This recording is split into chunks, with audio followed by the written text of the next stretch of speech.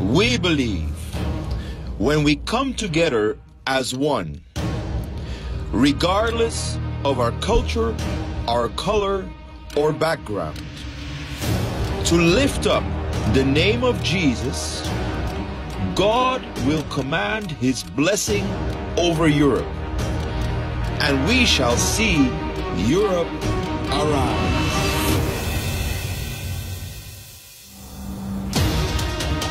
Power in number. And the more you are, the better. We must all stand before the judgment seat of Christ. I don't care what our culture is.